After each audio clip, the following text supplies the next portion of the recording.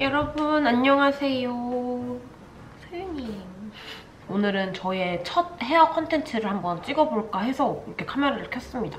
일단은 지금 제가 머리를 안 감은 상태여서 이렇게 지금 좀 산발이에요. 진짜 외출을 할 거기 때문에 실제로 외출을 할 때에 매일매일 하는 스타일링을 한번 보여드리려고 하는데 제가 그동안 메이크업 영상 속에서 좀 헤어 꿀팁 같은 것들은 간간히 알려드리긴 했어도 이런 식으로 단독으로 헤어 컨텐츠를 올리는 건 조금 처음이어가지고 좀 조금 떨려요, 지금 사실. 왜냐면 제가 헤어에 대해서 알려드릴 게 정말 별게 없거든요? 그래가지고 이제 안 보여드리려고 원래는 했다가 이제 붙임머리를 떼고 이렇게 거지존이 되면서 사람들이 좀 많이 물어보더라고요. 머리 스타일링을 어떻게 하는지. 사실 저도 거지존 헤어스타일링을 뭐 잘하는 건 아니지만 나름 잘 유지를 하고 있다고 생각을 해서 이거를 여러분들한테 보여드리면 참 좋을 것 같다고 네 생각을 했습니다. 촬영 장소도 지금 집이에요. 그래서 제가 머리를 감고 말리는 장소에서 고데기 하는 법을 알려드리도록 하겠습니다. 짠! 이렇게 머리를 감고 왔고 여기가 세안을 하고 나와서 바로 스킨케어랑 이제 머리를 하는 공간인데 이렇게 돼 있거든요. 되게 작아요. 화장대는 화장방에 따로 있고 여기는 이렇게 화장실 앞에 있는 화장대. 그래서 여기 보면 여기는 기초 제품들 이렇게 헤어 케어 제품이 있어요. 제가 이제 살짝 TMI를 말씀을 드리자면은 저는 이제 보통 헤어를 하기 전에 좀 머리를 감는 과정을 되게 중요하게 생각하는 편이거든요. 그래서 트리트먼트를 매일매일 꼭 해줘요. 원래는 이제 wash-off 타입의 트리트먼트를 썼었는데 저한테 이제 한국 제품들은 별로 효과가 없었고 일본 제품이 저한테 효과가 되게 좋았어서 쟁여놓은 거를 다 쓰고 나서는 한국 제품들을 찾아가지고 좀 잘 맞는 거를 사용을 하고 있거든요. 뿌리는 no-wash 타입 트리트먼트를 사용을 하고 있어요. 이거 제품 이름은 힐링버드 울트라 프로틴 노워시 앰플 트리트먼트입니다.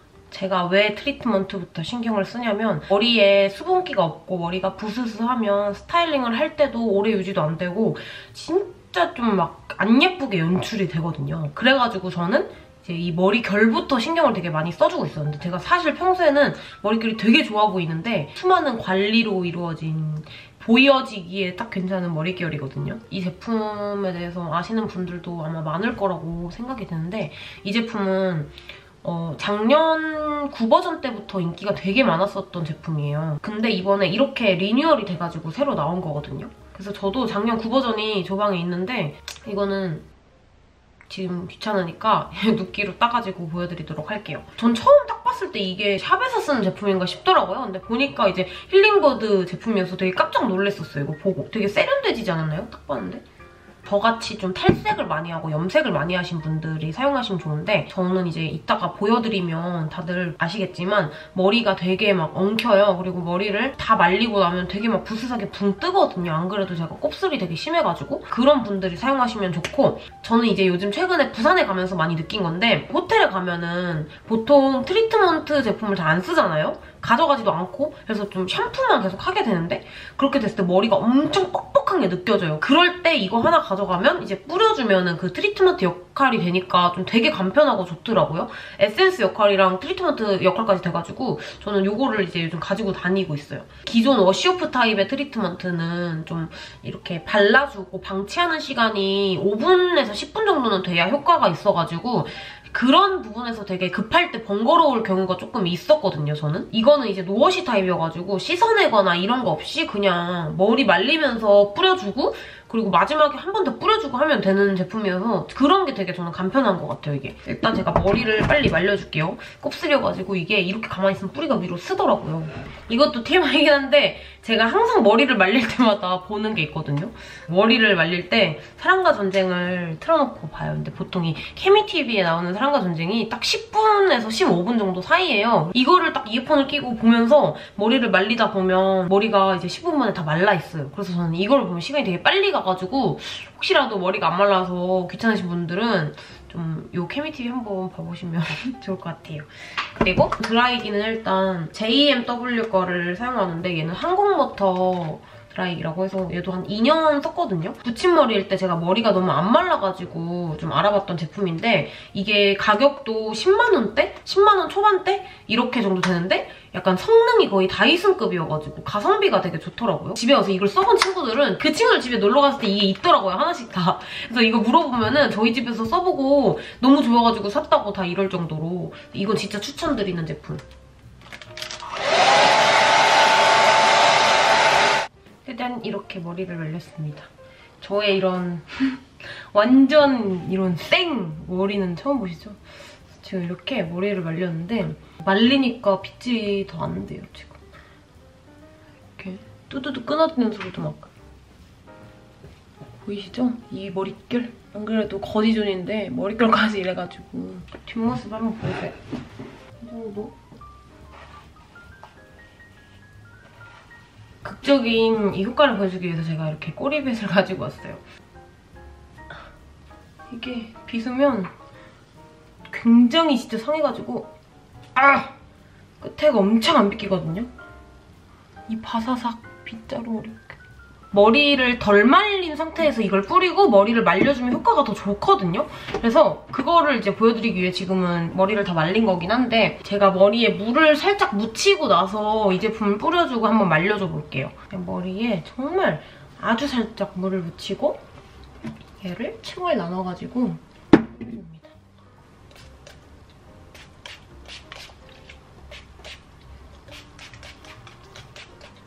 뿌려주고 한번 빗어주고 보통 이제 머리 좀 이런 헤어 관리 하신다는 분들 보면은 트리트먼트하고 에센스까지 같이 발라주잖아요? 근데 얘는 이제 기본 트리트먼트 제품의 기능뿐만 아니고 이제 에센스랑 오일 역할까지 같이 해줘요. 톤으로 이렇게 해가지고 펴서 발라줬을 때보다 더 균일하게 분사가 돼가지고 이렇게 고루고루 다 영양이 들어가고 좀 빠르고 간편하게 할 수 있는 게 제일 큰 장점인 것 같아요. 그리고 얘가 흡수가 되게 빨라가지고 지금 당장 이렇게 젖은 머리에서 좀 떡져 보이잖아요. 근데 진짜 기름기 이런 거 1도 없고 머리를 다 말려주고 나면 정말 부드럽거든요. 열 손상을 좀 보호를 해주기 때문에 드라이를 하기 전에 이거를 뿌리고 드라이를 해주는 거를 좀 추천을 드려요. 이걸 일단 머리를 말려주도록 할게요. 이게 이제 꿀팁 아닌 꿀팁이지만 보여드렸던 것처럼 머리 숱이 많으신 분들은 이렇게 반반씩 나눠서 겉과 속을 또 따로따로 해주면 되게 골고루 분사가 돼요.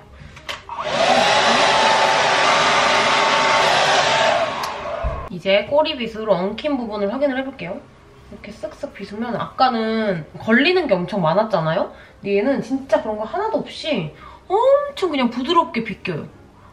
딱 그냥 보기에도 근데 머리 결 자체가 되게 부드러워지고 되게 차분해졌죠? 이렇게. 좀 뭔가 볼륨이 없어서 뭔가 웃기긴 한데 엄청 찰랑찰랑하죠? 고데기로 뭔가 한 번 이미 핀 것 같이 이렇게 됩니다. 오! 너무 좋아. 그래서 저는 이제 귀찮을 때는 고데기까지는 안 하고 평소에 이제 이걸로 그냥 뿌려주기만 하고 그냥 가만히 있거든요. 집에서는 좀 이런 고데기를 할 수는 없으니까 이렇게 해주고 이제 고데기를 해주면 정말 찰랑찰랑하게 연출이 돼요. 제가 일단 거지 좋은 머리는 어떻게 스타일링을 하면 예쁘게 되는지 제가 하는 방법을 살짝 보여드리도록 할게요.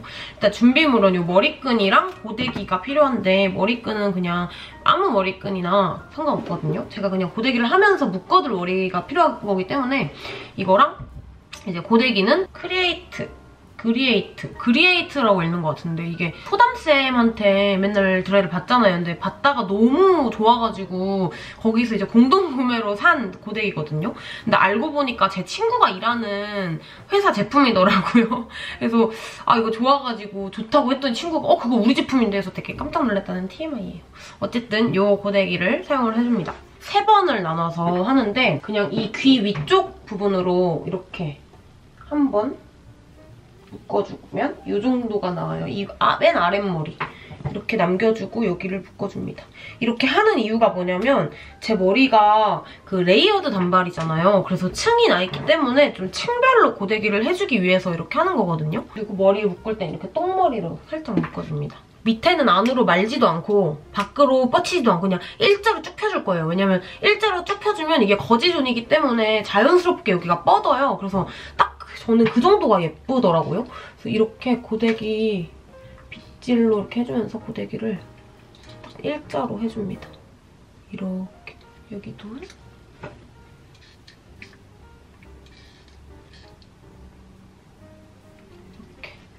일자로 해줍니다. 그리고 뒷머리도 안 보이겠지만 빗질을 이렇게 하면서 일자로 해주시면 윗머리를 한 번 더 내려야 되겠죠? 수치 많으신 분들은 3등분 안 하고 4등분 해도 돼요. 저도 오늘 4등분을 해야 될 것 같아요. 머리 수치 너무 많아서. 그리고 한 번 이 겉단을 빗어주고 이 안쪽 머리는 최대한 차분하게 하는 게 예뻐서 저는 이 한 두 번째 단까지는 계속 일자로 펴주고 있어요. 이제 위쪽부터 좀 볼륨을 넣을 거거든요. 이쪽은 일자로 이렇게 그냥 이 얼굴형을 따라서 이렇게 일자로 이게 그냥 샴푸만 하고 드라이를 할 때는 머리 결 자체가 되게 부스스하고 이렇게 차분하게 안 나와요. 근데 확실히 트리트먼트를 사용하고 안 하고 했을 때 스타일링 차이가 되게 큰 것 같아요. 그리고 이게 되게 어려우신 분들이 있을 것 같은데 이 손목을 좀 이용을 해가지고 이렇게 안으로 꺾어준다는 생각 말고 그냥 자연스럽게 얼굴형을 따라서 밑으로 쭉 내려주면 되거든요. 이게 좀 어려우신 분들은 그냥 머리를 일자로만 쭉 편 다음에 빗질을 이용해서 머리 방향을 좀 잡아주는 것도 괜찮아요. 이렇게. 이렇게 하면 되게 일자가 됐죠? 이제 여기서부터는 이대로 냅두고 이 윗단부터 좀 볼륨을 주면서 안쪽으로 말 거예요. 이 윗단 뚜껑만 빼고 이 정도? 약간 사과머리를 하듯이 이렇게 말아주거든요. 이렇게 하는 이유는 아까 말씀드렸던 것처럼 고데기를 할 때 이 이 머리가 같이 찝히지 않도록 그냥 잡아주는 거예요. 그래서 머리끈이 아니더라도 집게로 해도 돼요. 지금 뻗친 머리가 있잖아요.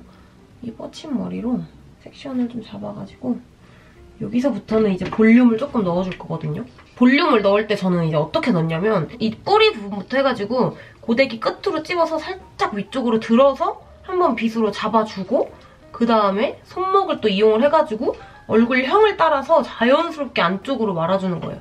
그러니까 이게 포인트가 있다면 끝쪽을 마는 게 아니라 이 안쪽을 동글게 완전 이제 큰 곡선을 그려주는 거거든요. 그러면 이제 이렇게 자연스럽게 볼륨이 생기겠죠? 또 이제 빗을 이용해서 머리를 해주면 볼륨의 차이가 되게 커요. 그래서 빗으로 이렇게 한 번씩 방향이랑 이런 볼륨 같은 것들을 고정을 시켜준다는 생각으로 해주시면 되거든요. 이 꼬리빗이 아니더라도 그냥 사용하는 빗으로도 볼륨을 충분히 잡을 수가 있어. 이렇게 해주고 한번 전체적으로 펴준 다음에 이쪽으로 띄워주고 받아줍니다. 그리고 여기에 이제 찝힌 부분이 있으면 이 부분도 같이 이제 뿌리 부분은 우리 뿌리가 밑으로 자라있잖아요. 그래서 이 뿌리를 고데기를 해줄 때 이 뿌리랑 각도가 직선이 되게 이렇게 고데기를 해주고 좀 식혀준 다음에 내려주면 볼륨이 살거든요. 이게 약간 꿀팁이에요. 여기도 한번 빗어주고 이렇게 잡아주고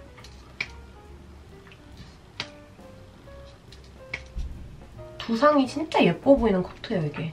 딱 봤을 때 좀 어떻게 보면 촌스러워 보일 수도 있고 관리하기 되게 힘들어 보이잖아요. 근데 한 번 진짜 고데기 하는 법을 예쁘게 알아놓으면 진짜 인생머리거든요. 이렇게 손으로 또 쉐입을 잡아주면 이렇게 볼륨이 완성이 됩니다. 뒤쪽도 마찬가지로 해줄게요. 저는 이제 뒤쪽을 해줄 때는 어려워가지고 그냥 빗질로 한번 쭉 빗어놓고 이런 식으로 이 각도 그대로 유지해주면서 이 상태에서 고데기를 이렇게 해줘요. 이렇게 바로 해줘요. 그리고 바로 빗질 해주고. 왜냐면 뒤쪽은 빗으면서 아무래도 고데기 하는 게 좀 어려워가지고 이렇게 하는 게 훨씬 편하더라고요. 아, 요즘 너무 덥다. 갑자기 너무 더워지지 않았어요? 아, 더워. 그리고 이제 뚜껑머리. 뚜껑머리는 어떻게 보면 제일 쉬워요. 뚜껑머리는 그냥 이렇게 한번 위로 이렇게 빗어주고 그다음에 가르마를 이렇게 나눈 다음에 그냥 그냥 동그랗게 그냥 펴주면 됩니다. 가르마는 저는 약간 이 정도로 가르마를 타줄게요. 앞머리는 생각하지 말고 그냥 얘는 일단 그냥 동그랗게 그냥 좀 말아주세요. 이렇게. 앞머리 생각하지 말고 그냥 떨어지는 대로 그 머리결 그대로 그냥 이렇게. 앞머리는 나중에 합니다. 이거 다 하고 앞머리 마지막으로 할 거여서 이렇게 모양을 대충 좀 동그랗게 잡아줍니다. 레이어드 단발이 저는 하기 전에는 그냥 이대로 자르고 그냥 말리는 것만 잘 말리면 되는 줄 알았거든요. 근데 생각보다 이게 고데기가 되게 그냥 단발보다 되게 많이 들더라고요. 근데 또 제가 레이어드 단발을 되게 많이 했잖아요. 그래서 제 머리를 보시고 머리를 이렇게 또 자르시는 분들이 계시는데 이 뒤로 고데기를 어떻게 해야 될지 모르겠다고 하시는 분들이 되게 많아서 이렇게 찍어보도록 합니다. 이렇게 됩니다. 그러면 이 머리를 전체적으로 이렇게 딱 빗었을 때 어머 머릿결 봐. 딱 이 끝에는 살짝 뻗치고 이 위에 뚜껑은 좀 말려있는 듯한 이런 쉐입이 됐잖아요? 이제 이 상태에서 앞머리를 해줄 건데 저는 일단 스타일링을 할 때 이 앞머리에서 귀를 넘길지 말지를 먼저 정해요. 근데 저는 제가 보통 하는 머리는 이렇게 귀 뒤를 다 넘기는 스타일링이잖아요? 그래서 여러분들한테는 이 스타일링을 보여드리도록 할 거예요. 왜냐면 앞머리가 제가 되게 거지존이에요, 지금. 딱 안 예쁜 머리 길이잖아요? 이 앞머리를 예쁘게 여기 뽕을 띄우는 법도 같이 보여드릴 거여서 살짝 이렇게 뺄 머리들을 정리를 해줍니다. 얼만큼 남겼냐면 저는 앞머리 이렇게 조금이랑 이런 잔머리들이랑 귀 옆에 약간 여기 또 귀 옆에 약간 그리고 앞머리 여기 조금 남겼거든요. 이 머리는 넘어갈 수가 없는 머리예요. 넘어가도 안 예쁜 머리이기 때문에 이렇게 해줄 겁니다. 일단 뿌리 볼륨을 먼저 찍어오는 게 중요한데 앞머리가 좀 자연스럽게 넘어가는 것처럼 보이려면 뿌리가 좀 뽕이 있어야 돼요. 그래서 아까 알려드린 것처럼 이렇게 두피에서 직선으로 좀 세워주고 이렇게 좀 열을 식혀주면 이렇게 뽕이 확 뜨거든요. 동그랗게 말아주고 얘는 자연스럽게 귀 뒤로 넘겨줍니다. 그리고 이제 이쪽도 마찬가지로 해주는데 여기는 뭐 딱히 막 볼륨 필요 없는 것 같아서 안 해줄 거예요. 제가 이렇게 좀 개떡같이 약간 설명해드리고 있는데 잘 좀 따라오고 계신가 모르겠어요.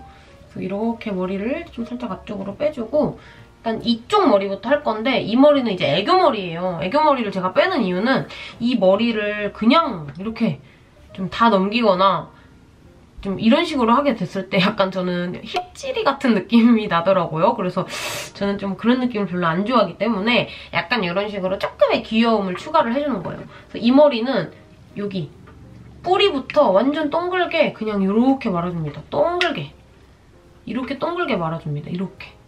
되게 귀여워요, 이게. 약간 어떻게 보면 좀 더듬이처럼 보일 수도 있는데 이렇게 동글게 말아줍니다.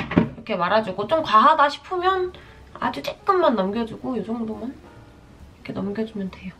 이게 원래 이쪽 머리, 애교 머리가 따로 있거나 좀 짧거나 이러면 되게 귀여운데 지금은 제가 머리가 많이 자란 관계로 그리고 앞머리, 이제 대망의 앞머리 앞머리가 이렇게 있잖아요. 근데 이제 이 앞쪽 머리를 좀 띄울 건데 일단 저는 여기를 두 번을 나눠요. 이렇게 안 딴 속과 겉을 나누거든요. 이 머리는 이쪽으로 잠시 보내놓고 이 머리에서 볼륨을 띄워주는데 얘도 이제 일단 이 각도가 직선인 게 중요해요.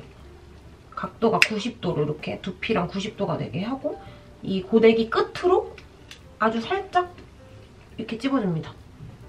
그리고 이제 이렇게 손가락으로 좀 잡으면서 이, 이 열을 좀 식혀주는 거예요. 그러면 이제 자연스럽게 여기 볼륨이 뜨거든요? 볼륨이 뜨면서 이제 이 앞머리가 자연스럽게 뒤로 넘어가요. 근데 이 끝에 머리가 이렇게 일자가 됐잖아요? 이 머리를 이렇게 뒤쪽으로 넘겨줄 거예요. 이렇게.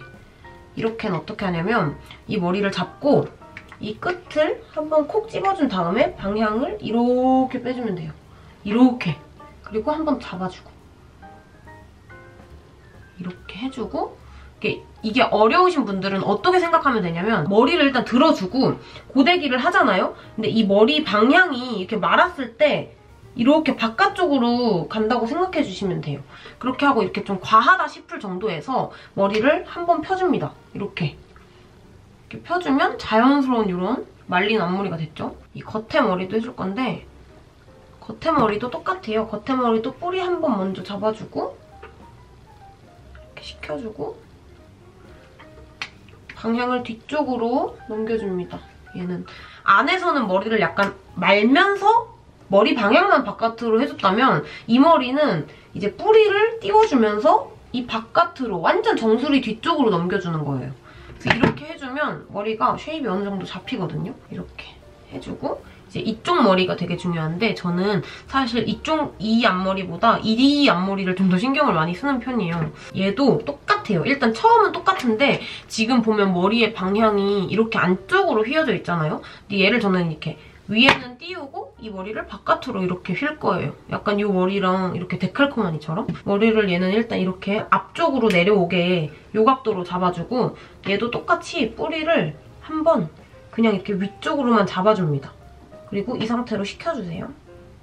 이렇게 식히면 머리가 뿌리가 일단 이렇게 뿌리가 잡혔거든요. 그럼 이 상태에서 이제 모양을 만들어주는 건데 얘도 뿌리부터 잡으면서 이렇게 뒤쪽으로 빼주는 거예요. 이렇게 뒤쪽으로 빼주고 머리카락 손으로 잡아주고 약간 이렇게 봤을 때 머리가 좀 엘레강스하게 잡혔다. 이 정도. 이렇게 바깥으로 튀어나왔다 이러면 머리를 전체적으로 잡고 이렇게 일자로 좀 펴줍니다. 이렇게 펴주면 머리가 이렇게 돼요. 전체적으로 보면 좀 이런 느낌이거든요. 이런 느낌에서 머리 모양을 전체적으로 한번 잡아주고 이렇게 부스스한 부분을 정리를 해줍니다. 그리고 이제 머리가 이렇게 완성이 됐잖아요? 그럼 이제 여기서 마지막으로 볼륨을 줄 부분을 조금 더 고데기로 좀 만져줍니다, 저는. 이렇게 만져주는 거예요. 음, 이렇게 만져주고 여기서 조금 부시시한 부분이 있다. 근데 저는 뒤에가 좀 부시시하게 돼요, 항상. 그래서 뒷부분은 아예 저는 트리트먼트로 좀 눌러주거든요. 그럴 때는 한번 이렇게 이렇게 뿌려주고 빗질을 이렇게 해주면 뒤에도 찰랑찰랑하게 완성이 됩니다. 짜잔! 이러면 끝! 끝이에요. 이러면 저는 이제 나갈 준비를 해주고 오도록 할게요. 짜잔! 이렇게 레이어드 단발 스타일링이 완성되었어요. 옷도 저는 이렇게 입었습니다. 옷은 그냥 이렇게 조거 팬츠에 이런 탑을 입고 전 여기다가 이제 샌들을 신어줄 거예요. 뭔가 보여드릴 게 많아야 되는데 지금 딱히 막 뭘 할 게 없네요. 오늘은 거지존 스타일링 방법을 좀 찍어봤는데 여러분들 마음에 드셨으면 좋겠고 저는 이러고 이제 외출을 해주도록 할게요. 안녕!